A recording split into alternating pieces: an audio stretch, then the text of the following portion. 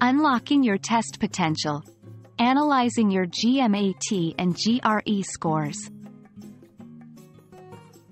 Hello, and welcome back to our English language learning series. Today, we're diving deep into the realm of post-test analysis, focusing on the GMAT and GRE exams. Interpreting your scores isn't just about the total number. It's about understanding how you performed in each section and what it reveals about your strengths and areas of improvement. Let's get started.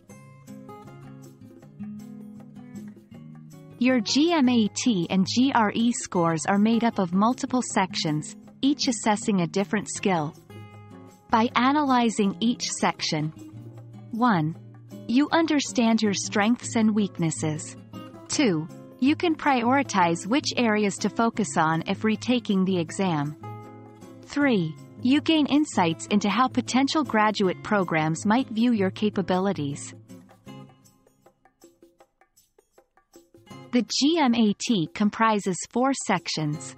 1. Quantitative. Tests mathematical skills. 2.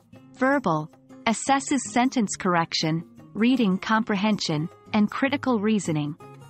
3. Integrated reasoning measures your ability to evaluate data. 4. Analytical writing assessment evaluates your critical thinking and communication of ideas. For each section, ask yourself, did I score near my practice exam results? Were there particular question types that tripped me up? Do I feel there were external factors, e.g., anxiety, that affected my performance? The GRE is divided into three main sections. 1. Quantitative reasoning evaluates problem-solving skills using basic math concepts. 2.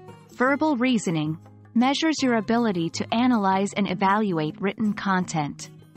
3. Analytical writing assesses your critical thinking and analytical writing skills.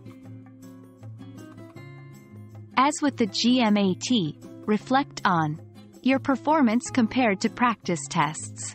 Specific areas or question types that were challenging. External factors that might have influenced your scores. Once you've analyzed your scores. 1. Identify areas of improvement. Which sections need the most attention? 2. Develop a study plan. Allocate more time to weaker areas. Consider resources or tutors.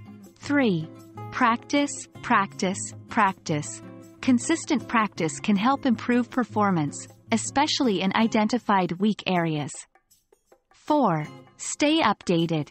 Sometimes, the test format or types of questions can change. Stay updated on the latest test patterns and practice accordingly. Understanding your GMAT and GRE scores section by section can be a game changer in your test preparation and graduate school application journey.